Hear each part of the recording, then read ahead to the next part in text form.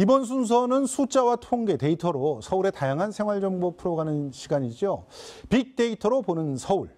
오늘은 하우사회문제연구소 배철순 소장님과 함께하겠습니다. 어서 오세요. 예, 안녕하세요. 예. 자, 오늘 소식 좀 만나보려고 하는데요. 준비된 화면 보실까요? 예, 그러시죠. 예. 서울 자치구 중에 건강 생활 습관 가장 잘 지키는 곳은 어딜까요? 아까 얘기를 했는데 예고 화면에서 송파구라고 송파구 이미 알고 있습니다. 아, 한번 어? 보시죠. 어머나 건강 생활 습관을 가장 잘 지키는 곳은 마포구군요. 예, 생활 습관에 대한 얘기죠. 아, 그렇군요. 그렇습니다. 어, 한림대 예. 어, 사회의학연구소와 중앙일보가 지자체의 2008년, 2016년 건강 수준을 비교했습니다. 예. 어, 서울의 경우에는 25개의 자치구 중에서요. 건강 생활 습관을 음. 가장 잘 지키는 곳이 마포구로 나타났습니다. 네. 어, 건강 생활 습관은요 흡연율 예. 그리고 어, 과음 여부를 따져볼 수 있는 고위험 음주율, 예. 짜게 먹는 습관을 알아보는 저염 선호율, 예. 그리고 운동을 얼마나 자주 하나 예. 알아볼 수 있는 신체 활동 실천율을 비교 평가한 결과입니다. 어, 이 평가에서 마포구는 서울시에서 두 번째로 과음하는 사람이 적은 자치구와 예. 운동을 자주 하는 자치구로 나타났고요. 예. 흡연율은 자치구 순위에서 9위, 어, 저염률은 자치구 순위에서 10위에 오르면서 건강 생활 습관을 잘 지키는 자치구 1위에 선정됐습니다. 이어서 서초구, 강남구, 영등포구, 송파구 순이었습니다. 아, 그러니까 지금 보니까 강남 3구가 2위, 3위, 5위를 다 했어요. 생활 습관에서도. 그렇습니다. 잘 사는 사람들이 생활 습관도 좋군요. 예. 자, 그러면 생활 습관만큼 또 중요한 게 인프라 아닙니까? 그렇습니다. 그러니까 얼마나 어뭐 의 어, 그 여기서 그렇습니다. 그래서 건강 자치구 1위가 송파구라는 예, 거군요. 생활 습관하고요. 예. 건강한 자치구는 또 다르지요. 예. 말씀 주신 것처럼 건강 생활 습관 습관뿐만 아니라 보건의료 자원과 서비스, 음. 사회 경제적 요인, 예. 또 물리 환경적 요인, 정책 요인을 살펴볼 필요가 있는데요. 예. 한림대 사회의학연구소가 선정한 이 다섯 가지 결정 요인을 종합적으로 판단하면 송파구가 보시는 것처럼 서울에서 가장 건강한 자치구를 할 수 있습니다. 아니 마포구 어디 갔어요 지금?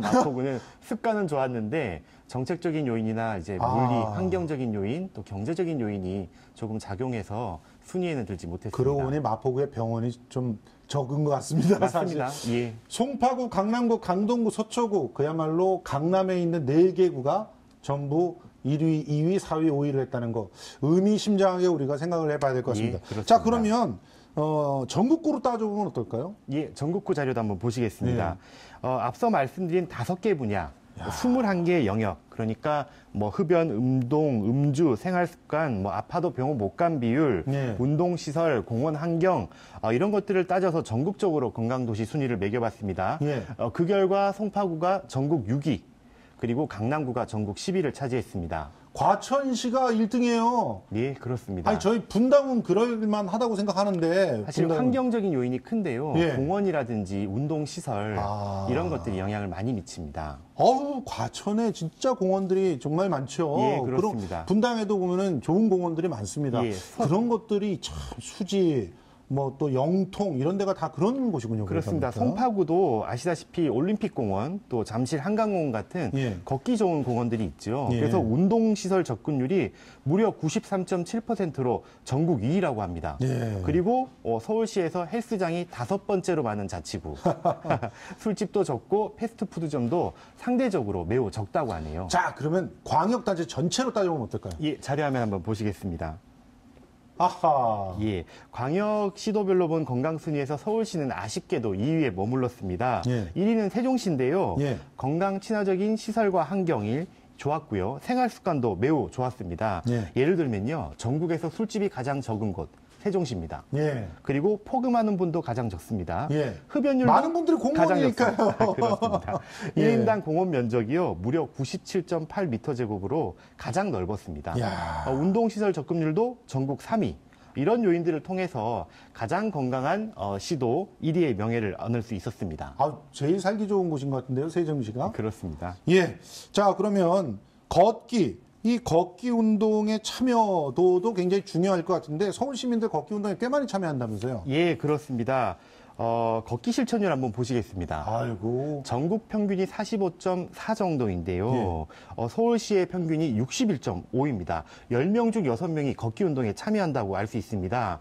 어, 그 다음으로 이제 부산하고 광주인데요. 예. 이곳은 이제 대도시 사람들이 아무래도 걷기 실천율이 높다 이렇게 보실 수 있고요. 예. 어, 경남, 경북, 강원이 좀 낮습니다. 강원이 가장 낮은데요. 예. 서울에 비하면은 절반 정도의 분들만 걷기 운동에 참여하는 것으로 이분들은 나타났습니다. 걸으면 등산이 되니까 그런 거 아닐까요? 아, 그런 면도 있는데 예. 앞서 저희가 대중교통을 한번 보면서 말씀드린 아, 바가 예. 있지요. 어, 교통 환경이 좋지 않다 보니까 예. 차량 이용률이 아, 다소 높은 편이라는 그런 예, 그런. 조사가 그러니까 있습니다. 도로가 많으면 많을수록 오히려 차를 버리고 걸어 다녀야 되겠다는 생각을 하는 분들이 대중교통을 많다. 이용하니까 대중교통 이용하기 위해서 좀 더 걸을 수 있는 예. 예, 그런 자, 환경이 있습니다. 그러면 서울 사람들이 가장 그 사망하는 원인으로 1위에 뽑힌 건 뭐였습니까? 한번 보시죠. 아, 암이죠? 아직까지도 아, 요즘은 뭐 암이죠. 예, 예. 아직까지도 암이 가장 큰 원인으로 나타났습니다. 예. 암으로 인한 사망자 수는요 모두 1만 3,107명으로요 전체의 30.1%나 차지했습니다. 2위는 심장 질환이고요. 사망자 수는 암의 절반에도 못 미치는 4,209명. 그리고 뇌혈관 질환이 3,473명, 폐렴이 2,415명입니다. 예. 어, 자살을 뜻하는 고의적 자해에 따른 사망자 수가요.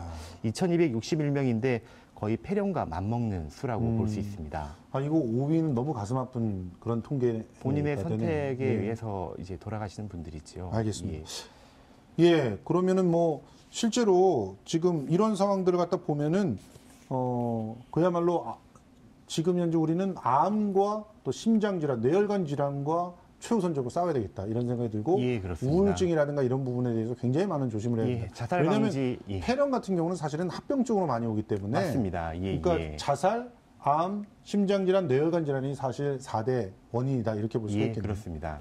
아니 그리고 그 일제 강점기 때 서울 하층민들이 자주 알았던 질병을 저한테 가르쳐 주신다면서요. 예, 그렇습니다. 어떤 질병이라고 생각하시는지요? 글쎄요, 저는 뭐 하층민들이면 아무래도 뭔가 소화 쪽, 위, 쪽. 위 쪽, 뭐 이런 쪽이 아, 많이. 그쪽 질병도 예. 물론 들어가 있습니다만은 아, 1위는 아닙니다. 아, 1위는 뭘까요? 자료 한번 보시겠습니다.